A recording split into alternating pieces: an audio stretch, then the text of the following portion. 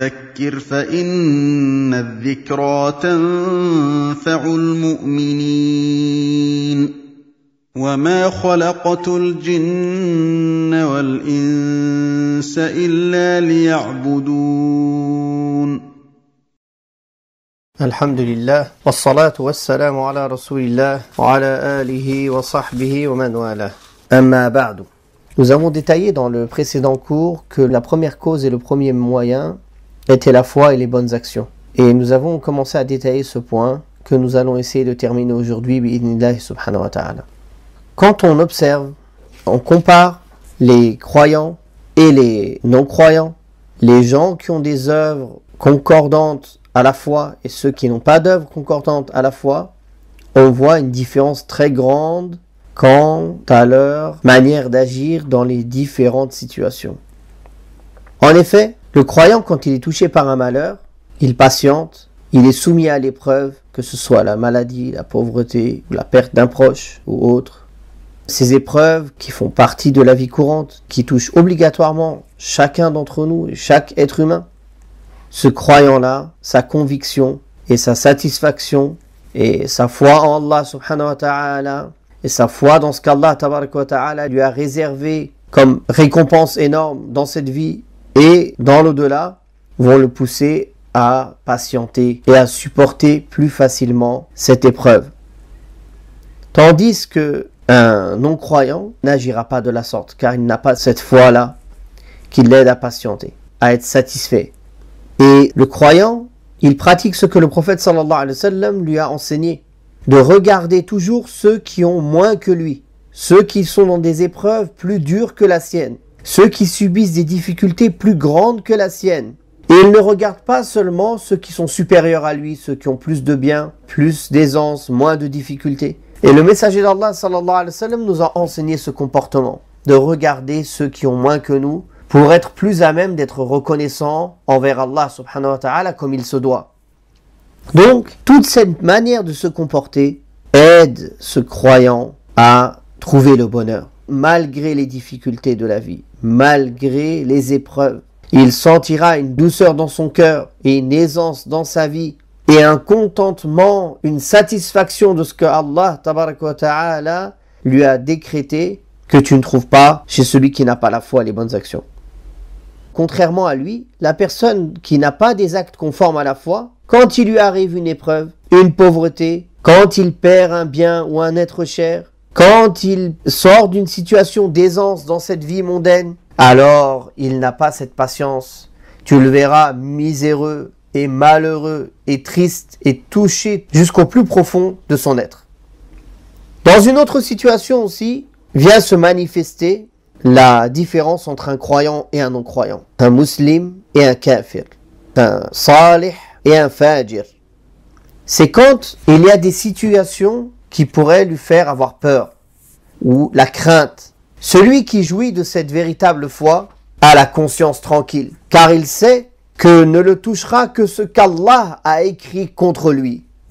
Il sait avec certitude ce que le messager d'Allah sallallahu alayhi wa, a dit à Abdullah ibn Abbas. Si l'humanité entière s'unissait pour te faire le moindre bien, il ne te ferait que le bien qu'Allah a écrit pour toi. Et s'ils s'unissaient tous ensemble pour te faire le moindre mal, il ne te ferait que le mal qu'Allah a écrit contre toi. Toute chose est écrite par Allah. Donc ce croyant, il a cette certitude-là, donc il n'a pas peur. Il n'a pas peur des situations qui arrivent face à lui, des difficultés qu'il rencontre dans sa vie. Il place sa confiance en Allah wa ta'ala. Et il sait ne le touchera que ce qu'Allah ta'ala a écrit pour ou contre lui. Quant à celui qui est dépourvu de foi, c'est tout le contraire. Quand il est dans une situation affligeante qui fait peur, il est envahi par la crainte. Son cœur n'est pas tranquillisé. Ses nerfs sont tendus. La panique l'envahit. Une peur externe et une angoisse interne que nul ne peut décrire l'envahissent. Ce type de personne, il n'arrive pas à contrôler cette peur, à avoir cette confiance en Allah car ils n'ont pas cette foi et ces bonnes actions qui illuminent leur poitrine. Et c'est pour ça que tu les trouveras dans ces circonstances-là, tristes, loin du bonheur, agacés, en stress malheureux. Le noble et l'égaré, le croyant et le mécréant, tout cela peuvent s'associer sur certaines qualités. Par exemple, pour acquérir un peu de courage ou de bravoure. Mais le croyant, il se distingue par la force de sa foi, par sa patience, par sa confiance en Allah, par son espoir en sa grande récompense énorme, par sa foi en la destinée d'Allah. Tout ceci vient augmenter son courage et sa bravoure et vient diminuer ses craintes, adoucir ses peines. Comme Allah ta'ala dit dans le Coran al-Karim, dans Surat al-Nisa, dans le sens des versets, si vous souffrez, eux aussi souffrent comme vous souffrez, tandis que vous espérez d'Allah ce que ils n'espèrent pas. Voilà la différence entre un croyant et un mécréant. Tout le monde souffre dans cette vie, car cette vie n'est pas le paradis. Cette vie est une vie d'épreuve. Mais le croyant, il espère d'Allah ce qu'un mécréant n'espère pas d'Allah. Il espère une grande récompense. Il patiente car il sait qu'il est récompensé. Le croyant sait qu'Allah, s'il le touche par quelque chose, c'est pour une sagesse qu'Allah seul connaît. Et que tout ce qu'Allah lui a écrit, c'est du bien pour lui. À la différence du pervers ou du mécréant. Ces croyants-là obtiendront l'aide d'Allah subhanahu wa ta'ala. Son secours qui feront voler en éclats ses craintes et ses peurs qui viennent le toucher. Allah ta'ala dit dans le sens des versets dans Surat Al-Anfal Et soyez endurants car Allah est avec les endurants. C'est-à-dire, il les aide, protège, raffermit, guide dans le droit chemin. Subhanahu wa ta'ala. Donc, la première cause, qui est le moyen essentiel et la base et le fondement de tous les moyens pour atteindre la félicité, le bonheur dans cette vie, et dans l'au-delà, qui est le vrai bonheur, c'est la foi et les bonnes actions. Parmi les pieux prédécesseurs, toute situation qui les touchait, toute difficulté, parfois même des choses simples de la vie, ils se remettaient en question. Ils essayaient de voir s'ils n'avaient pas eu des manquements avec Allah, ta'ala, ou bien des manquements dans les droits des personnes qui l'entourent. Allah ta'ala dit dans le Coran al-Karim Il n'y a pas un malheur qui vous touche sans que cela ne soit à cause de ce que vos propres mains ont acquis et il pardonne sur beaucoup ou bien il passe sur beaucoup dans le sens des versets. Tout malheur qui nous arrive, toute difficulté, la cause principale, ce sont nos péchés. Le fait qu'on se soit éloigné de ce fondement essentiel, la foi correcte en Allah et les bonnes actions qui sont la cause de trouver le bonheur. Alors on cherche des causes de malheur des responsables, des boucs émissaires de notre difficulté et de nos malheurs et on s'en prend aux gens au lieu de régler et de corriger la vraie cause essentielle de notre malheur qui est en nous-mêmes qui est le fait qu'on a suivi nos passions, qu'on a répondu à l'appel de Shaitan et on a désobéi au Rahman, au miséricordieux subhanahu wa. Donc, l'essentiel, quand on est touché par un malheur, par une difficulté, c'est de revenir à Allah ta'ala, de faire un examen de conscience et de corriger nos manquements, car tout mal qui nous touche, c'est lié à l'épreuve pour laquelle Allah nous a créés. Et toute épreuve sur cette terre qui nous touche, c'est soit pour nous pousser à nous repentir d'un péché qu'on a fait, soit pour nous élever en degré. Ce n'est pas une punition sur cette terre, mais la plupart du temps, en vérité, on a beaucoup de manquements, c'est souvent lié à nos péchés. Quoi qu'il en soit, c'est un bien pour le croyant s'il réagit de la bonne manière.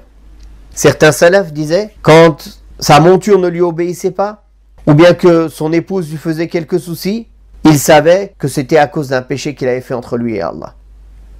Alors, il faisait une rétrospective sur lui-même, sur sa personne, sur ses œuvres, pour les corriger. Et pour pouvoir être comme Allah aime. Car celui qui est comme Allah aime, Allah subhanahu wa ta'ala lui facilite les épreuves de la vie. Et sachez que cette vie-là n'est que un amas d'illusions court et que la vraie vie est la vie éternelle. Comme il est venu dans le hadith, si on prenait la personne parmi les habitants du paradis qui a souffert le plus dans ce monde, qui a eu le plus de difficultés, et on le trempe au paradis, il ressort. Quand il va lui être demandé, as-tu déjà connu le malheur dans ta vie? Il va dire, Wallahi, jamais je n'ai connu la difficulté dans ma vie.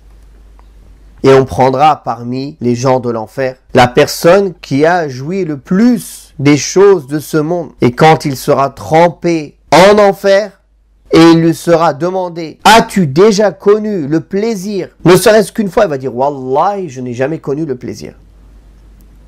Alors comment on peut se laisser avoir par Shaitan et son armée? Comment on peut suivre notre passion, se laisser guider par notre âme bestiale sans l'éduquer pour qu'elle craigne Allah subhanahu wa ta'ala et rater ce bonheur éternel qui est la vie dans le paradis d'Allah subhanahu wa ta'ala?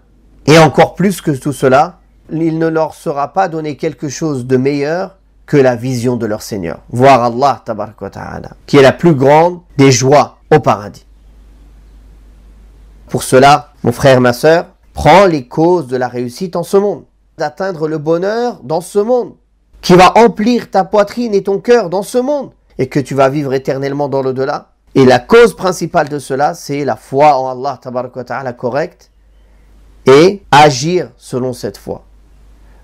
En apprenant la science utile, le vrai dogme, et en mettant en pratique cette science utile. Voilà ceux qui réussiront dans cette vie et dans l'au-delà. والله تعالى أعلى وأعلم سبحانك اللهم وبحمدك أشهد أن لا إله إلا أنت أستغفرك وأتوب إليك وقل رب زدني علما